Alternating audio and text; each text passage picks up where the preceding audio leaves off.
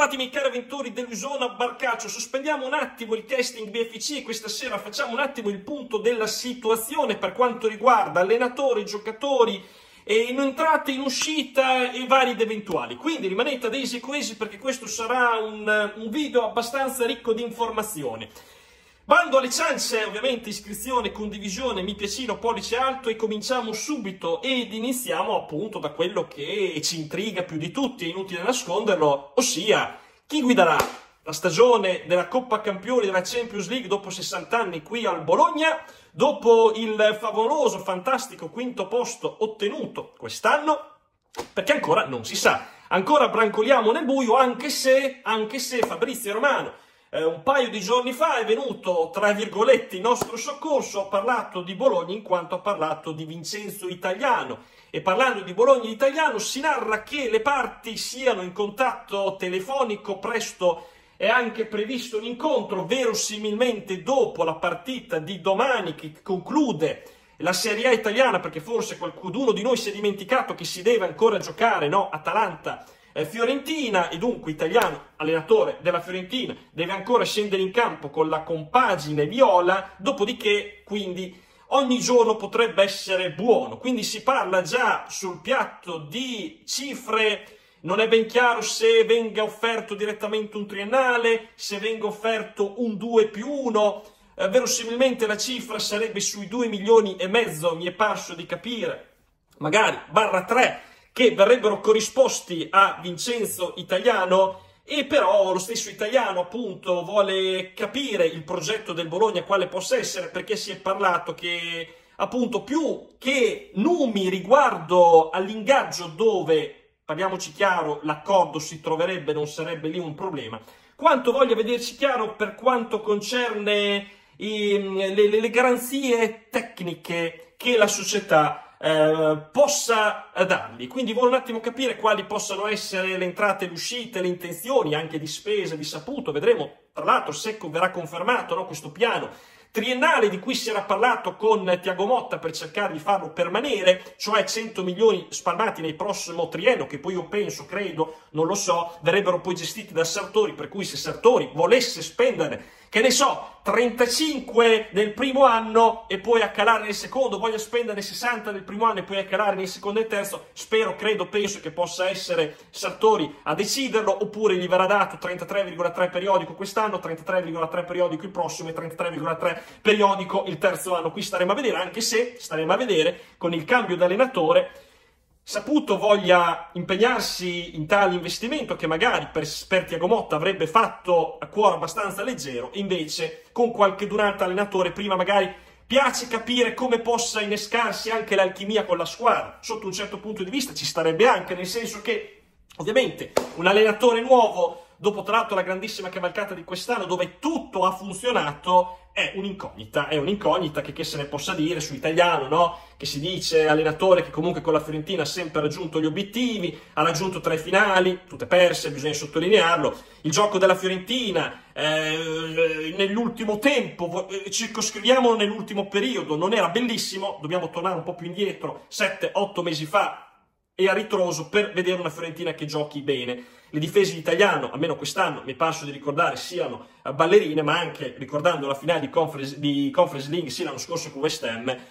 mica tanto, era, era, non era mica tanto rose e fiori, mi ricordo un'ultima azione da Paiura, ecco. Comunque, detto questo, Italiano è in pole, ma non è l'unica soluzione, in quanto pare che, si, che si possa, ci si possa tenere una pista per un eventuale piano B, piano B che non è ben chiaro e da chi possa essere rappresentato. I giornali scrivono Raffaele Palladino, però io mi riservo una, una, un'incognita che magari il Sartori, no, con la famosa sartoriata, ci possa tirare fuori, chissà che non possa essere Paolo Vanoli, di cui abbiamo parlato l'altra sera e ne abbiamo caldeggiato la sartoriata. Detto questo, addentriamoci capitolo giocatori in uscita e in entrata, perché allora in uscita in realtà il Bologna sicuramente vorrà piazzare qualcosa, è innegabile. Però l'idea, a mio avviso, è un giocatore eh, se importante uno solo, magari due, barra anche tre giocatori di quelli meno importanti. Faccio, faccio, degli esempi. Ci sono addirittura in ballo i riscatti o meno di Selemakers e Christensen. Certo è che riscattare Christensen a 15 milioni e non riscattarlo ti va già a liberare come se tu avessi fatto potenzialmente un acquisto, perché tu decidi di non avvalerti della spesa di quei 15 milioni che avresti potuto fare, allora quei 15 milioni possono tornare utili per qualcos'altro, ecco che ti rientrano virtualmente, a meno che uno non avesse fatto questo perché tanto sapeva che non l'avrebbe mai fatto.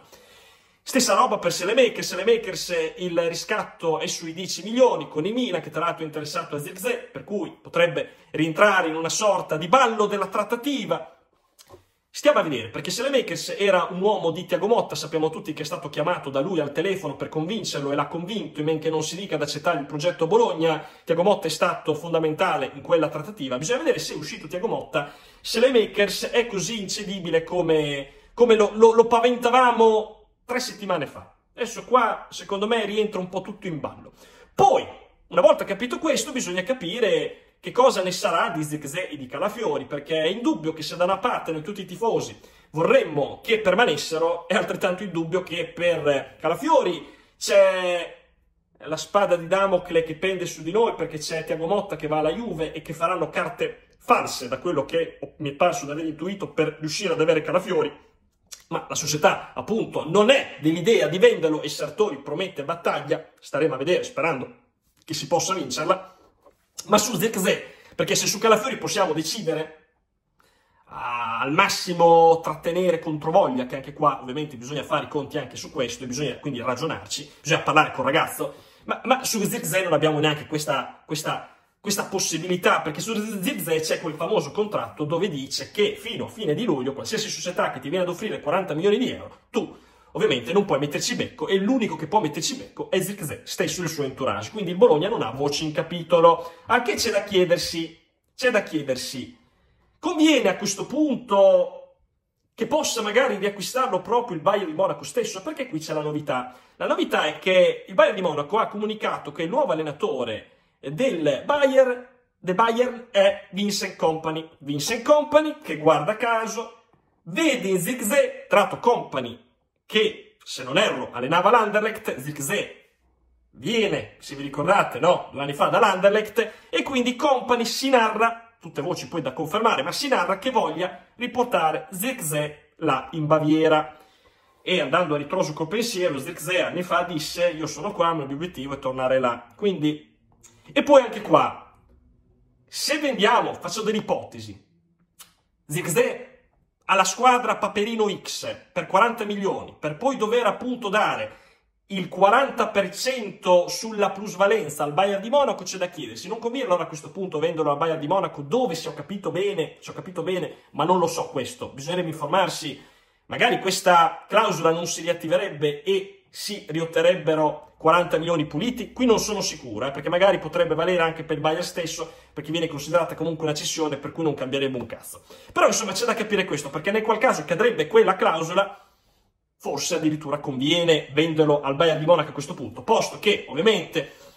si spera che possa esserci no, quel famoso gentleman agreement con Zirkzee che magari possa venire in nostro soccorso, dico io,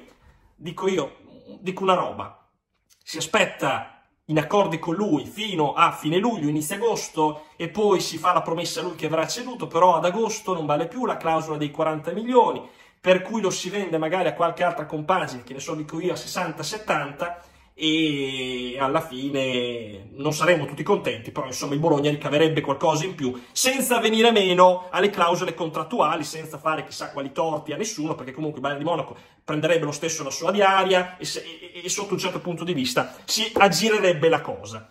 La butto lì, ma sono cose appunto che poi vanno verificate. Detto questo, c'è da pensare appunto e da guardare però in entrata. Allora a questo punto il Bologna chi va a prendere? E stando sulla punta, Zigze no, eh, in uscita, fermo restando che comunque sia Zigze, Odgard e Castro, non bastano ovviamente per Coppa Italia, Serie A e Champions League. Il quarto ci deve essere. Se siamo in tre, rischiamo di vendere Zigze, vuol dire che ne dobbiamo comprare almeno due,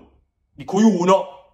deve essere super top. Io dico, no, non è che possiamo, ok, vendere un asso da 90 e prendere una briscola del due di bastoni. Certo è che i nomi che si stanno facendo in queste ultime ore, in questi ultimi giorni, diciamo, non è che lasciano ben sperare, fermo restando che conosciamo tutti come agisce il buon fiducia Sartori, ossia eh, dà da pensare al giornale di turno di essere sui profili A, B e C e poi ti va a prendere i profili che non ti aspetti. Quindi io mi aspetto questo, ecco, diciamo. Però insomma, dovendo dichiarare quello che si sta vociferando, si vocifera un ritorno di fiamma dello stesso Sartori su Strand Larsen, quel famoso giocatore che all'epoca mi pare di ricordare fosse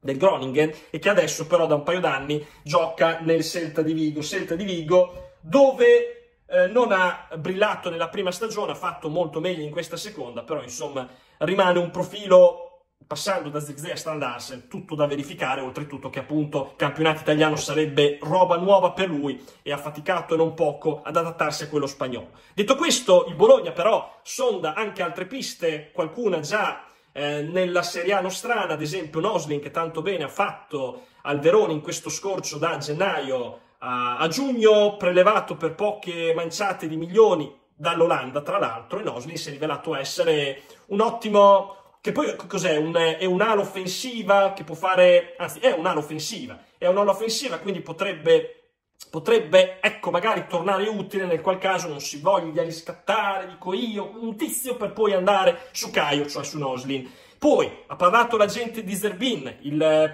il, il cartellino ce l'ha a Napoli, no? Alessio Zerbin, che anche lui fa eh, di mestiere l'ala offensiva sinistra, ma l'occorrenza destra, può anche di essere disimpegnato, e la gente ha detto lo stima Sartori. Che cosa avrà voluto dire? Lo scopriremo presto. In ultimo, chiudo dicendo che un centrocampista che eh, su cui il Bologna pare essere molto forte e interessato e voler chiudere a breve è Tessman, lo statunitense che ha fatto molto bene questa stagione in Serie B, che guarda caso ha come allenatore proprio Paolo Vanoni, che chissà mai non possa essere quella sartoriata di cui si narrava ad inizio video. Chiudo, l'ultima che mi è venuta in mente adesso, per la difesa, ovviamente dovesse uscire Calafiori, si parlerebbe di Brassier, ok? Quel difensore eh, francese che quest'anno nel campionato della Ligue 1 ha fatto eh, molto bene. Ragazzi, io qui chiudo. Fatemi sapere la vostra che cosa ne pensate a riguardo di tutto. Campanaccio pastorale sempre attivo e noi ci sentiamo alle prossime. Cerchio da bar.